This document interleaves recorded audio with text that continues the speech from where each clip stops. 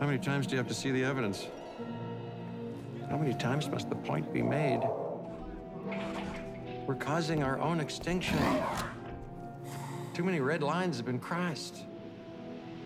And our home has, in fundamental ways, been polluted by avarice and political megalomania. Genetic power has now been unleashed. And of course, that's going to be catastrophic. This change was inevitable from the moment we brought the first dinosaur back from extinction.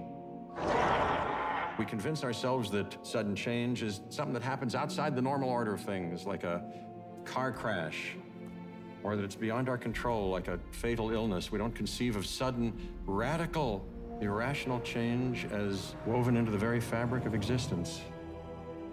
Yet I can assure you it most assuredly is. And it's happening now. Humans and dinosaurs are now going to be forced to coexist. These creatures were here before us. And if we're not careful, they're going to be here after.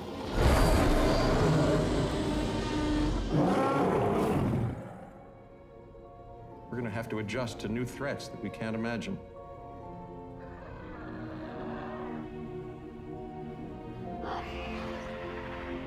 We've entered a new era.